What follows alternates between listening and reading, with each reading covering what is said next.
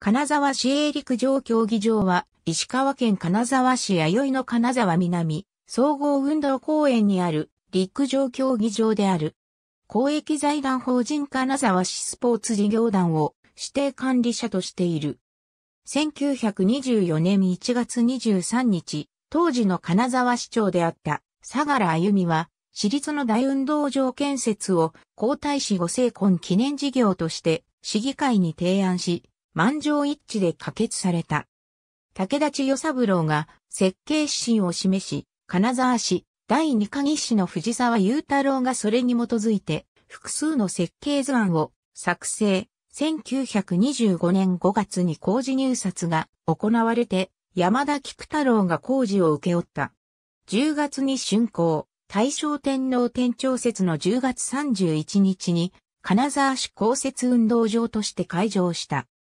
面積3ヘクタール、トラック400メートル、土盛りの芝生観客席に1万人、特別席に1000人収容で、野球、テニス、バスケットボールも可能な広場のような多目的、運動場であった。1931年に始まった日本陸上競技連盟による陸上競技場の検定制度で、1938年に北陸で初めて第三種公認競技場となった。1947年には第2回国民体育大会の主会場として使用するための改修を経て第1種公認となった。1958年3月に陸上競技場に周辺の農地を加えた8.54ヘクタールにサブグラウンド、プール、バラ園などの緑地を整備し、都市計画金沢総合運動公園とされた。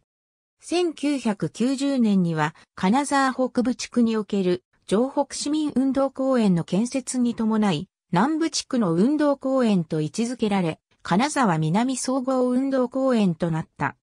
1991年に開催された第46回国民体育大会のサッカー競技会場とするため全面改修された。1995年5月7日に夜間照明設備が完成した。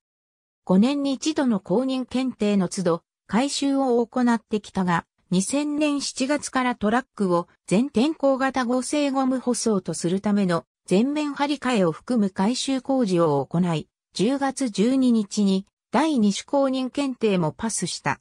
競技場には約110本の桜が植えられており、毎年花見の時期には無料開放されている。